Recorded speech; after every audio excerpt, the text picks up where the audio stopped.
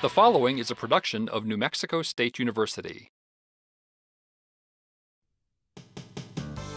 For over 50 years, the Denver Botanic Gardens have been among America's leading public parks. Today we're focusing on one special collection. Panayoti Kelaidis gives us a tour of the Denver Botanic Gardens Rock and Alpine Garden. What's this beautiful blue flower? That's uh, Anchusa capensis is the Latin name. It's uh, the Cape forget-me-not. Cape, that's from South Africa. It's from South Africa, and it's usually uh, considered an annual, but we discovered that it's perfectly hardy, and we're planting quite a few more of them along here because that blue is so dazzling. Another very famous southwestern plant is this ice plant here. This is one we're calling Table Mountain, and we just released that this year for the first time. Uh, you know cooperite, but this, i- this is a little bit uh, softer color. It's not that really harsh purple. Uh-huh. And the foliage on this uh, remains even more attractive in the wintertime. It's a, we think it's a better plant. Very good for out, throughout the Southwest. I would say, yeah, throughout the United States, actually. That's performed very well, even in the Midwest and the East Coast. Wow, and then this one?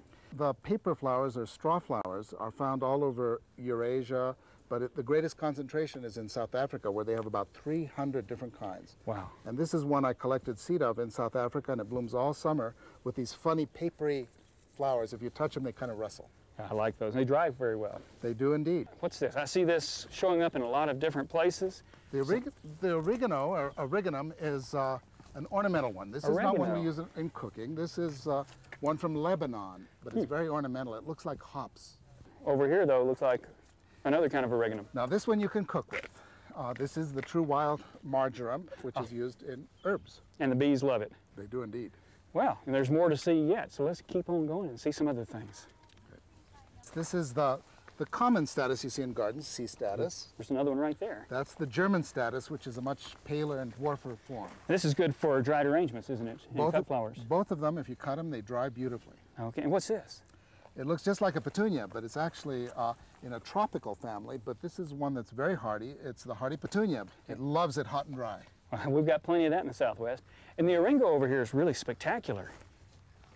This is uh, one of the many sea uh, eryngos, and uh, that blue color is just electric, isn't it? Yes, that's really nice. Looks good against the rocks here, which in a rock garden you'd expect.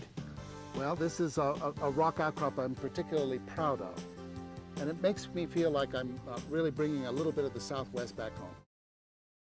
The preceding was a production of New Mexico State University. The views and opinions in this program are those of the author and do not necessarily represent the views and opinions of the NMSU Board of Regents.